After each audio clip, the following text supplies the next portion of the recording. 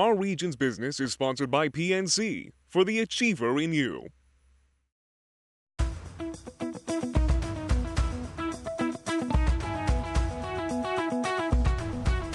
May be no better investment we can make in our kids than pre-kindergarten education.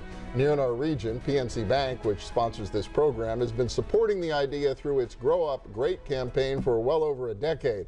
And it seems to be gaining some traction nationwide, at least according to one recent survey. In fact, there's a growing case, uh, growing business case for childcare, which was the focus of a recent forum right here in our region. Cara Ciminillo is Executive Director of the Pittsburgh Association for the Education of Young Children, also known as PACE.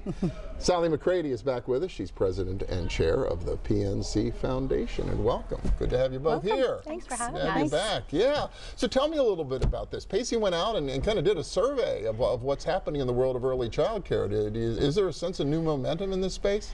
I think there is. So, um, you know, for years we've talked about K-12 and we've talked about workforce development.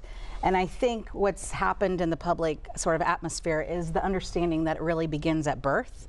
That when we think about um, helping individuals reach their fullest potential, folks understand that it starts at birth um, with young children and that the investment and the care really needs to be there from the beginning.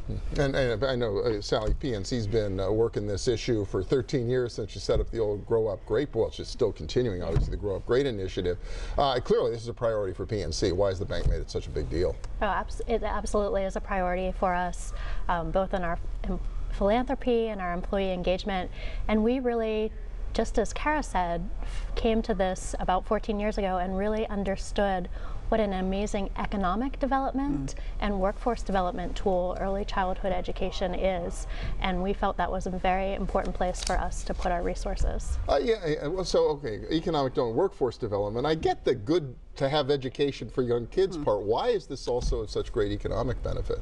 So studies have shown, it's really amazing, there have been a number of longitudinal studies that show that children that have had access to high quality early education are two times more likely to be ready for their first day of kindergarten, mm. four times more likely to graduate from high school will earn 25% more over their lifetime and are five times less likely to rely on public assistance. So when you think about it in those terms, uh, that's an amazing economic development return. There have been studies that have said it's as high as a $16 return for every $1 invested in high quality early education.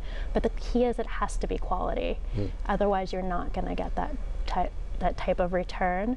And PACE's just done an amazing job across our region encouraging that level of quality. Yeah, PACE's been around, what, since the early 1960s, yep. right? Yep. So it's a long time at this. But you've, you've also surveyed other regions of the United States. How are we stacking up these days so relative to other efforts in yeah. other places? So for a long time, Pennsylvania was really the leader in early childhood. We were one of the first to have um, an office at the state level dedicated to early childhood. So that's the Office of Early Child, the Office of Child Development and Early Learning.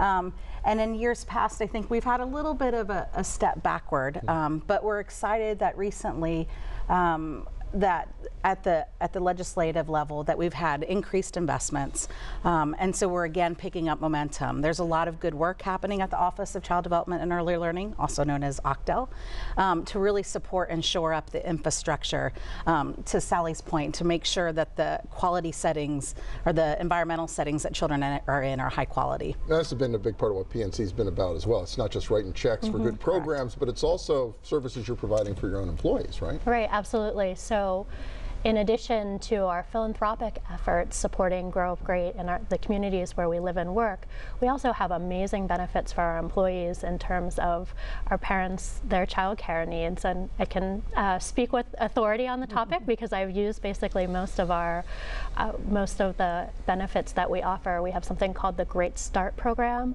where new uh, employees of our, ch our children uh, of our employees that are new parents or just adopted a child uh, can use this Great Start program. We have it in Philadelphia and here in Pittsburgh. It's subsidized child care we offer it for eight weeks when you first come back to work. It's $10 a day. And not only is it a terrific benefit for our employees, just in terms of cost savings, But what it does is it really allows our employees to see what high quality childcare looks mm-hmm. looks like so that when they're going out and looking for permanent childcare, they can they know what to look for. I it makes a lot of sense. I, you mentioned that the states restored some of the funding. I think Yep. in the governor's budget, Governor Wolf has been a pretty good champion Yes. of this. Put $30 million in the budget, so that's coming along. But I do wonder how, how many. Uh, what's the unmet need in our region Yeah, when it comes to the, un, the un, unmet need is great, um, and it's going to take more than sort of the investments that we've had um, at the state level. We really need a concerted effort across local, state, and federal um, to to really start to tackle the unmet need.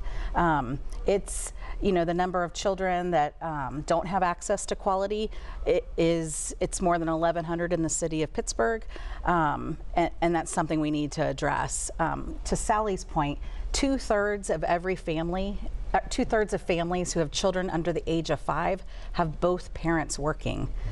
And so you really need um, you need quality, high quality um, early experiences for children, so that parents can feel comfortable about going back to work. Well, that's a big part. You know, lost productivity, just Mm-hmm. Yeah. parents being worried about the kids instead of Yeah. focusing on the job. That's a real issue. Yeah, it's it's estimated that that companies lose three billion dollars a year because of absenteeism due to their employees' childcare falling through. So it really is um, behooves corporate America to support their employees and their childcare needs um, for a number of reasons. So if people want to help or get involved or just find out more, how do they find you? Yeah. So you would go to our website, www.paeyc.org, Okay. pacey.org. Um, but I think there's a number of ways that folks can get involved. Um, for families who have young children, grandparents who have grandchildren, it's really about better understanding the child care needs.